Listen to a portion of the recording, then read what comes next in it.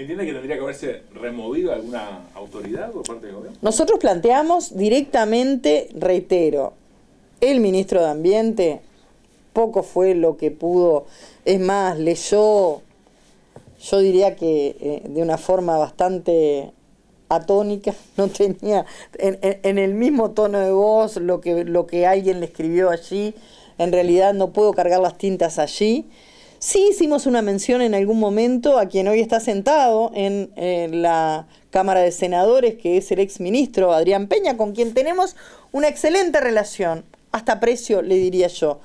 Ahora, dijo el día 10 de mayo en la sesión del Senado, en reiteradas oportunidades, había que hacer el proyecto Neptuno porque vamos a tener en cualquier momento un atentado terrorista en eh, aguas corrientes y nos vamos a quedar con un déficit hídrico. No tuvimos, no precisamos tener un atentado terrorista. Hoy tenemos un déficit hídrico y eso sí hicimos mención en el Parlamento. Obviamente la ministra, más allá de que yo no comparto, de que en función de la demanda y de la consulta de la población vayamos a dar las informaciones, la información tiene que estar arriba de la mesa y el Estado tiene que garantizarme que aquellos gurises que viven en los barrios más pobres y que no tienen posibilidades de comprar agua, me parece hasta bastante grotesco que se nos haga una comparación, este, bueno, miren que comer un chorizo al pan o comer snack o comer tal cosa es, peor que el agua. No, no, porque hay gurises que no tienen la posibilidad ni de comer eh, saladitos ni de eh, comer un chorizo. Y además tenemos por otro lado cualquier em, integrante del ámbito de la medicina en su sano juicio dice que 3 litros de agua es lo que deberíamos ingerir por día. Por lo tanto, no me pueden decir, como dijo tristemente la subsecretaria de OCE que dejen de comprar un refresco de marca y compren agua. Es una falta de respeto. Un gobernante no puede manejarse así. Por eso solicitamos la remoción del presidente y la vicepresidente de OCE. Y bueno, obviamente sabemos que no contamos con los votos para eso. No logramos convencer a quienes yo Personalmente siempre pienso que cuando estamos en un ámbito político discutimos si no hay buenos y malos, sino que hay concepciones de país diferentes y a veces uno tiene la posibilidad de convencer, porque estoy segura que todos estamos preocupados por este tema. No lo logramos, por lo tanto esa remoción seguramente no se va a dar porque no creo que el presidente tome esa resolución y bueno, acá estamos todos preocupados y pensando, sí, que este es un tema que está instalado, que no es un tema de los capitalinos, no es un tema del área metropolitana, es un tema mundial, nacional, regional. Yo decía para el año 2050 el propio agro para la, para la producción de alimentos. Estamos hablando de eh, alimentación saludable, va a necesitar recursos hídricos y no los va a tener.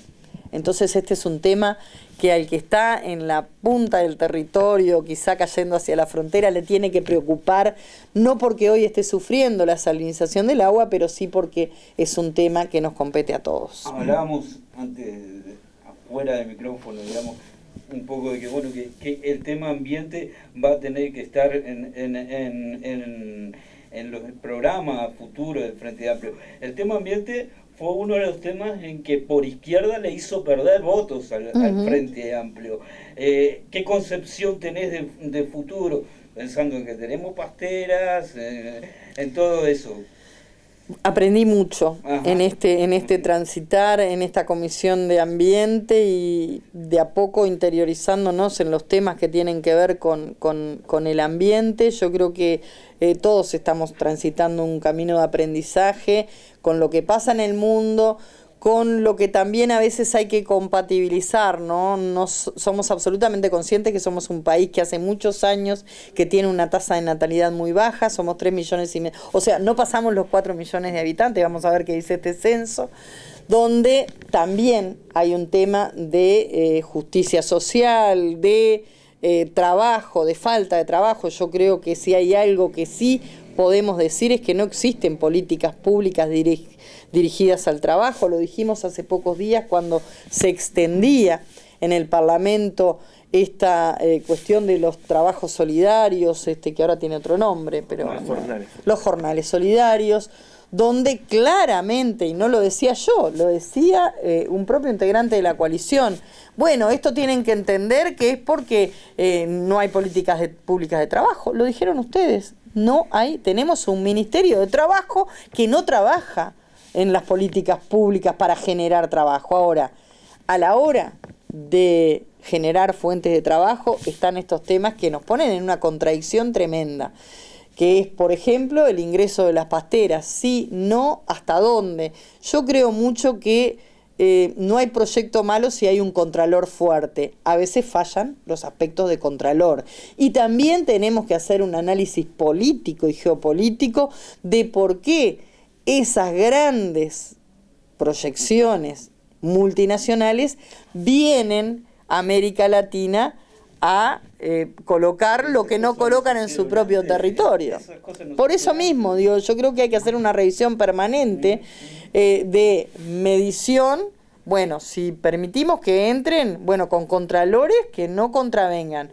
Primero que nada, yo te diría, o a la misma altura que nuestras cuestiones ambientales, la cuestión de los trabajadores. Nosotros tenemos un país que tiene una construcción social de previsión social, por eso tanto eh, problemáticas hemos tenido con la aprobación de una ley de seguridad social que no es tal, sino que es una eh, ley que lo que reformó fue las jubilaciones y mal para nuestro concepto, pero hay otra construcción que tiene que ver con las prestaciones sociales que han sido luchas históricas de los trabajadores organizados, esos mismos que ayer fueron expulsados de las barras, y no fue solamente porque en su derecho la vicepresidenta con el reglamento aplicado debe desalojar las barras si alguien se sale de los márgenes que indican. No podemos hacer manifestaciones